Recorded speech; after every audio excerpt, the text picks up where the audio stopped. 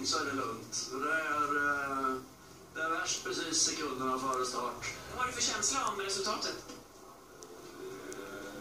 Tre, tror vi. Då säger vi lycka till. Tack så mycket. Det är kul med Per Toves resa eh, inom travet. Eh, tidigare var han VD på Stödbarn Mantorpstravet. Ja, se där. Och eh, hans häst hade en mardrömslik årsdebut senast. Gjorde ändå en jättebra insats. Vi ska se hur det går idag. Längst bort, längst ut tillsammans med eh, Erik Adielsson. Luciana Bocco eh, längst ut eh, i det främre ledet för Oskar Jansson. Det blir ingen eh, ledning i den första fasen i varje fall. Invändigt finns fem Microlink 6 Infinity.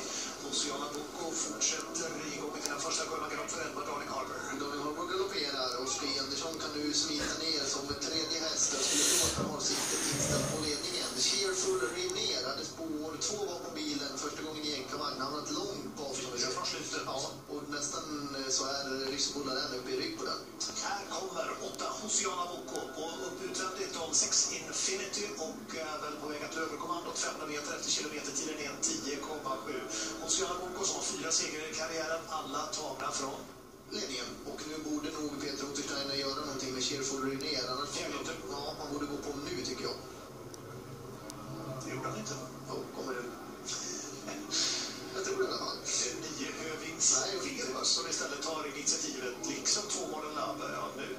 Som är ute. Ja, exakt. Det var många som ville fram och sätta sig Och utan Ottersteiner som var... Ja, han var kvar där. Det, det kändes som att han ville det, som att han var på gång, men att det inte blev så. Nu sitter han duktigt långt bak. Nu får han ju Han snart 50 jumbo.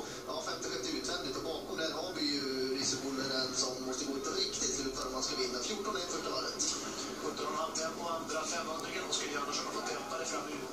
Ledaren 10 Indian Front, först i tredje 9 Hövingsveden och så först nu kommer Untersteiner med nummer 3 Cheerful Rivner. Ryssebo Laren, alltjämt jumbo i klungan, medan som trea i tredje spåret 13 Have Fun With Me. Och alla ser sega ut av de här konkurrenterna.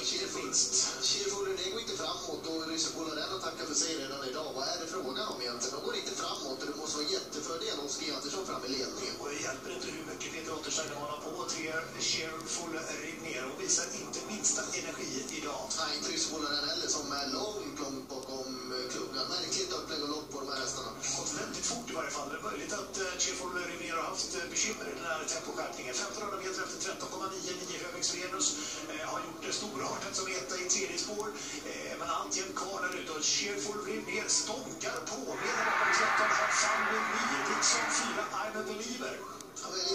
öppet. som Andersson har ett bra tag mot Luciana Boko-ledningen. Vinner inte hon, ja då är det vidöppet. Vem som helst kan vinna i upploppet.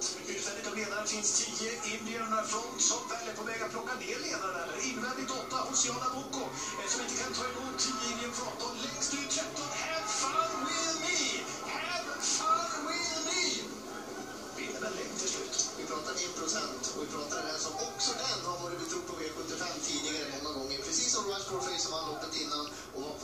favoriten i det här loppet, Göran? Nej, de föll tungt. Extremt tungt.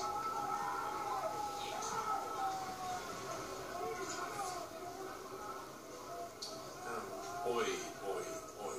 Have fun with me. Och ni där hemma som inte följer travet slaviskt som vi tre gör ska veta det. Annie, hur känns det här? Nu vann hon! Ja. Efter mycket om och men. Ja, du, det här har jag längtat efter. Jäklar, du, det här var hon så förtjänt av. Ja, Vad säger du om stoet? eh, nej, men en jättefin häst med jättemycket kapacitet. Hon har mest rullat till det för sig själv.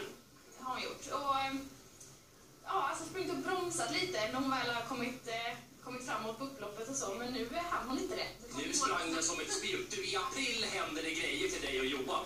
Berätta. Vi blir föräldrar. Oj. Ja. Grattis! Tack så mycket. Ja, vad blir det? Det säger jag inte. För det vill inte Johans pappa veta.